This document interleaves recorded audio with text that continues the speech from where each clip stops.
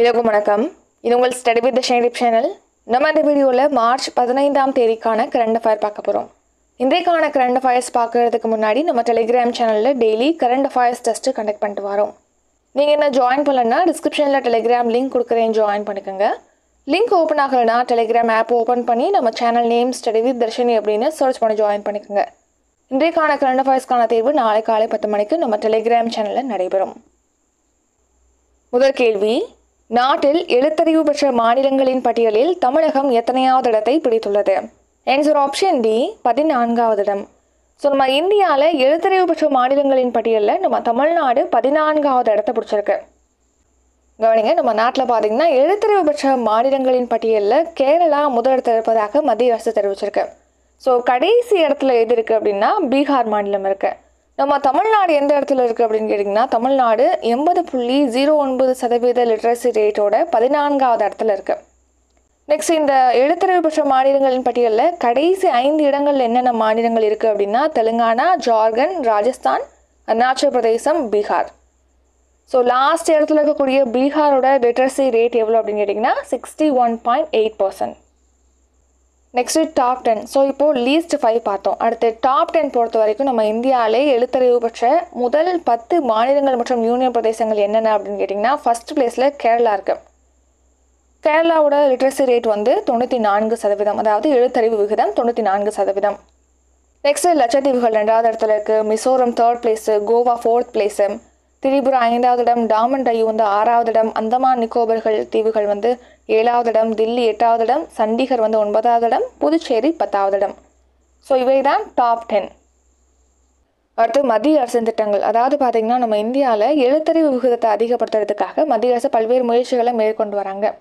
So அப்படி மேற்கொள்ளப்படக்கூடிய ஒரு திட்டம் தான் முழுமையான கல்வி திட்டம். அதாவது சமக்ர சிக்ஷா அபியான்.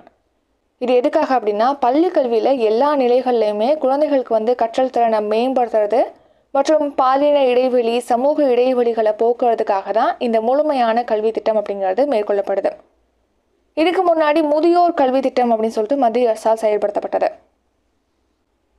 இரண்டாவது கேள்வி சர்வதேச புக்கர் விருதுக்கான பரிந்துரை பட்டியலில் இடம்பெற்ற முதல் தமிழக எழுத்தாளர் யார்? Answer option C Perumal Murugan. So ஆண்டுதோறும் பார்த்தீங்கன்னா சிறந்த ஆங்கில படைப்புகள் அல்லது ஆங்கில மொழிபெயர்ப்பு படைப்புகளுக்கு இந்த சர்வதேச புக்கர் விருதானது வழங்கப்படுது. ஸோ அதன்படி இந்த ஆண்டு இந்த விருதுக்கான பரிந்துரை பட்டியலில் முதன்முறையாக ஒரு தமிழ் எழுத்தாளர் இடம்பெற்றிருக்காரு. அவர் தான் பெருமாள் முருகன் அப்படிங்கிறவர். So international Booker prize two thousand twenty three அதாவது சர்வதேச புக்கர் விருதுகள் ரெண்டாயிரத்தி இருபத்தி மூன்றுக்கான பரிந்துரை பட்டியலில் நம்ம தமிழக எழுத்தாளர் ஒருத்தர் வந்து இடம்பெற்றிருக்காரு. அவர் தான் பெருமாள் முருகன். ஸோ இதை பற்றி நல்லா டீட்டெயில்டாக பார்த்தீங்கன்னா இப்போ பெருமாள் முருகன் அப்படிங்கிறவர் வந்து பூக்குழி அப்படிங்கிற நாவல் எழுதியிருக்காரு. இந்த நாவலை வந்து ஆங்கிலத்தில் பயர் அப்படிங்கிற பெயரில் அனிருத்தன் வாசுதேவன் அப்படிங்கிறவர் மொழிபெயர்த்திருக்காரு. ஸோ அந்த சர்வதேச புக்கர் விருது அப்படிங்கிறதே பார்த்தீங்கன்னா சிறந்த ஆங்கில படைப்புகள் அல்லது ஆங்கில மொழிபெயர்ப்பு படைப்புகளுக்கு வழங்கப்படுது. ஸோ அதன்படி தமிழில் எழுதப்பட்ட பூக்குழி அப்படிங்கிற நாவலோட ஆங்கில மொழிபெயர்ப்பான பயர் வந்து இந்த சர்வதேச புக்கர் விருதுக்கான பரிந்துரை பட்டியலில் இடம்பெற்றிருக்கு. ஸோ அந்த சர்வதேச புக்கர் ப்ரைஸை வந்து வின் பண்ணுறாங்க அப்படின்னா அவங்களுக்கு பரிசு தொகையாக ஐம்பதாயிரம் பிரிட்டிஷ் பவுண்ட் தொகையானது வழங்கப்படுது. ஸோ இந்த பரிசு தொகை பார்த்திங்கன்னா நூலை எழுதியவங்க மற்றும் மொழிபெயர்ப்பு செய்தவங்களுக்கு பகிர்ந்தளிக்கப்படுது.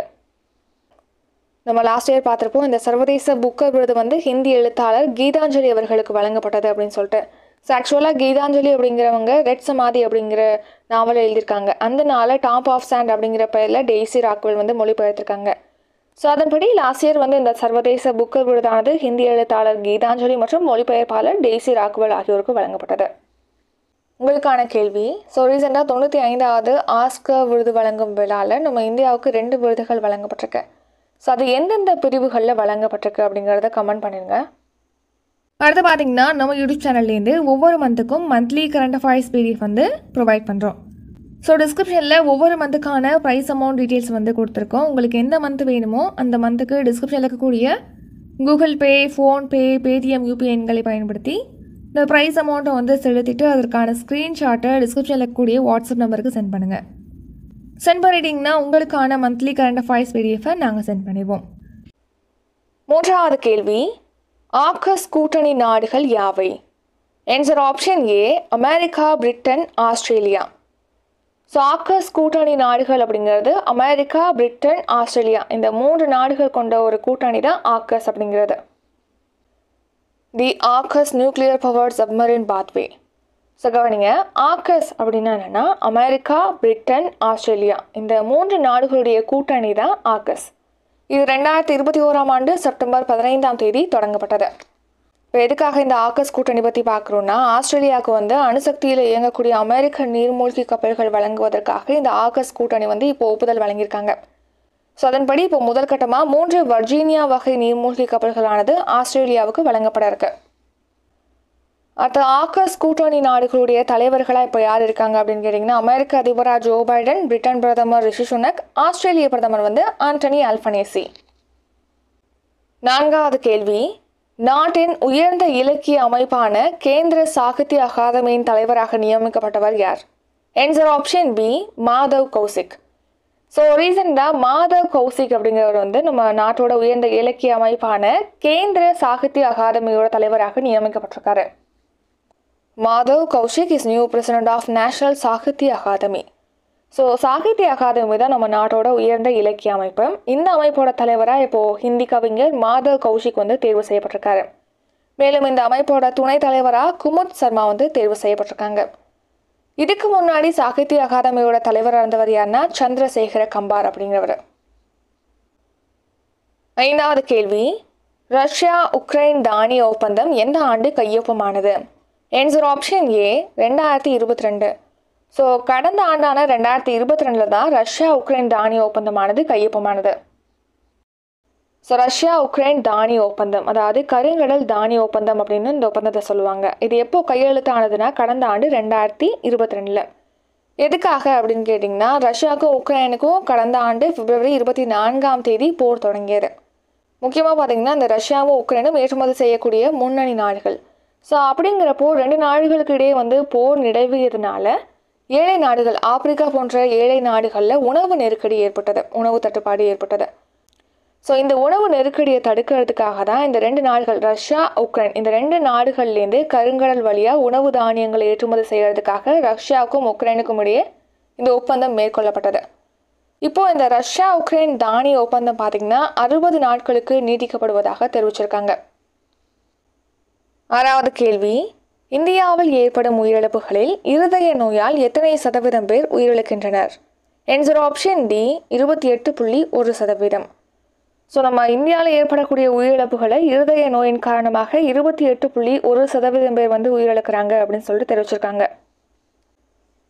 ஸோ பாருங்கள் ஐசிஎம்ஆர் அதாவது இந்திய மருத்துவ ஆராய்ச்சி கவுன்சில் வந்து ஆய்வு நடத்தி இந்தியா தேசத்தின் ஆரோக்கியம் அப்படிங்கிற பேரில் ஒரு ஆய்வறிக்கையை வெளியிட்டிருக்காங்க. இந்த ஆய்வறிக்கை படி பார்த்தீங்கன்னா ரெண்டாயிரத்தி பதினாறாம் ஆண்டு வரைக்கும் இந்தியாவில் ஏற்படக்கூடிய உயிரிழப்புகளில் இருதய நோயின் காரணமாக இருபத்தி எட்டு புள்ளி ஒரு சதவீதம் பேர் உயிரிழப்பதாக தெரிவிக்கப்பட்டிருக்கு.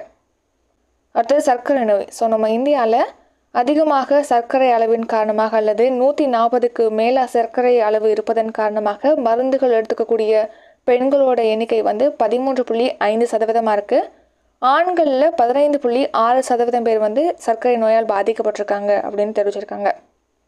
அடுத்து இந்தியாவில் எய்ட்ஸ் குறித்த ரெண்டாயிரத்தி இருபத்தி ஓராம் ஆண்டுக்கான அறிக்கையின்படி வந்து வயது வந்தவர்களிடையே ஹெச்ஐவி பாதிப்பு அப்படிங்கிறது ஜீரோ புள்ளி இருபத்தி ஒரு சதவீதம் பேருக்கு இருப்பதாக தெரிவிச்சிருக்காங்க. ஏழாவது கேள்வி பிரதமரின் விவசாயிகள் சம்பதா திட்டம் எந்த ஆண்டு தொடங்கப்பட்டது? என்சர் ஆப்ஷன் சி ரெண்டாயிரத்தி பதினேழு. ஸோ கடந்த ரெண்டாயிரத்தி பதினேழாம் ஆண்டு தான் இந்த பிரதமரின் விவசாயிகள் சம்பதா திட்டமானது தொடங்கப்பட்டது. பிஎம் கிசான் சம்பதா யோஜனா இதில் சம்பதா அப்படிங்கிறதோட ஃபுல் ஃபார்ம் என்னென்னா scheme for agro marine processing and development of agro processing clusters தமிழில் வேளாண் கடல்சார் பதப்படுத்துதல் மற்றும் வேளாண் பதப்படுத்துதல் தொகுப்புகளின் மேம்பாடு. ஸோ இந்த ஃபுல் ஃபார்ம் வச்சே சொல்லிடலாம். இந்த பிஎம் கிசான் சம்பதா யோஜனா அப்படிங்கிறது பதப்படுத்துதல் தொடர்பான திட்டம். இது ரெண்டாயிரத்தி பதினேழாம் ஆண்டு தொடங்கப்பட்டது. இந்த திட்டத்தோட நோக்கம் என்ன அப்படின்னு கேட்டிங்கன்னா ஃபஸ்ட்டு விளைவிக்கிறதுலேருந்து லாஸ்ட்டாக அதை விற்பனை செய்கிற வரைக்கும் இடையிலான விநியோக சங்கிலியை தரமாக கட்டமைக்கிறது தான் இந்த திட்டத்துடைய நோக்கம். அதாவது ஃபார் எக்ஸாம்பிள் தோட்டக்கலை பொருட்களாக இருக்குது அப்படின்னா அந்த பொருள் வந்து எந்த ஒரு இழப்பீடும் இல்லாமல் வேஸ்ட் ஆகாமல் அதை பதப்படுத்தி கரெக்டாக அதை எண்ட் அந்த விற்பனை ஆகிற வரைக்கும் அதை சேஃபாக விநியோக சங்கிலியை தரமாக கட்டமைக்கிறது தான் இந்த திட்டத்துடைய நோக்கம். ஸோ இந்த திட்டத்தின்படி மத்திய அரசு என்னென்னலாம் பண்ணுறாங்க அப்படின்னா மெகா உணவு பூங்காக்கள் அமைக்கிறாங்க. குளிர் பதன கிடங்கு வசதி ஏற்படுத்தி தராங்க. இந்த மாதிரி பல்வேறு வசதிகளை வந்து மத்திய அரசு மேற்கொள்ளுது. இப்போ எதுக்காக இதை பற்றி பார்க்குறோன்னா இந்த திட்டத்தின் கீழ் வந்து தமிழகத்தில் ஒரு மெகா உணவு பூங்கா பதினாறு ஒருங்கிணைந்த குளிர்பதன கிடங்கு வசதி பதினோரு வேளாண் பதன தொகுப்பு முப்பத்தி ரெண்டு வேளாண் உணவு பதன அலகுகள் ஒன்பது வேளாண் பொருட்களுக்கான உற்பத்தி மற்றும் சந்தைப்படுத்துதல் தொடர்புகள் ரெண்டு காய்கறி விற்பனை சந்தைகள் அமைக்கப்படும் அப்படின்னு சொல்லிட்டு மத்திய அரசு ஒப்புதல் வழங்கியிருக்காங்க இதுக்கு. எட்டாவது கேள்வி. தேசிய அளவில் அங்கக வேளாண்மையில் தமிழ்நாடு எத்தனையாவது இடத்தில் உள்ளது? என்சர் ஆப்ஷன் டி பதினான்காவது. ஸோ தேசிய அளவில் அங்கக வேளாண்மையில் தமிழகம் வந்து பதினான்காவது இடத்துல இருக்குது ஸோ நம்ம தமிழ்நாடு தேசிய அளவில் அங்கக வேளாண்மையில் பதினான்காவது இடத்துல இருக்குது கடந்த ரெண்டாயிரத்தி இருபது டு ரெண்டாயிரத்தி இருபத்தி ஓராம் ஆண்டில் பார்த்தீங்கன்னா நான்காயிரத்தி இரநூத்தி இருபத்தி மூன்று மெட்ரிக் டன் அங்கக பொருட்கள் ஏற்றுமதி செய்யப்பட்டு ரூபாய் நூற்றி எட்டு கோடி வருமானமானது ஈட்டப்பட்டிருக்கு. எதுக்காக அதை பற்றி பார்க்கணும்னா முதலமைச்சர் மு க ஸ்டாலின் அவர்கள் வந்து இப்போது தமிழ்நாடு அங்கக வேளாண்மைக்கான தனி கொள்கையை வெளியிட்டிருக்காரு. இந்த கொள்கையில் இடம்பெற்ற முக்கிய அம்சங்கள் என்ன அப்படின்னு பார்க்கலாம். ஸோ இந்த கொள்கையோட நோக்கம் என்ன அப்படின்னு கேட்டிங்கன்னா மண் வளம் வேளாண் சூழலியல் பல்லுயிர் பெருக்கம் இவற்றை பாதுகாத்து நிலைத்திருக்க செய்கிறது. மேலும் பாதுகாப்பான ஆரோக்கியமான மற்றும் சுற்றுச்சூழலுக்கு உகந்த உணவை வழங்குறது. இதுதான் இந்த கொள்கையோட நோக்கம். ஸோ இந்த கொள்கையில் இடம்பெற்ற முக்கிய அம்சங்கள் அப்படின்னு பார்த்தோன்னா ஃபஸ்ட்டு சான்றிதழ் வழங்கும் நடைமுறை.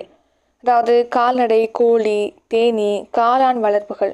இவற்றோட உற்பத்தி பொருட்களுக்கு வந்து அங்கக சான்றிதழ் துறையின் சான்றிதழ் அளிக்கப்படும் அப்படின்னு சொல்லிட்டு தெரிவிச்சிருக்காங்க. அடுத்து பள்ளிகளில் தோட்டங்கள்.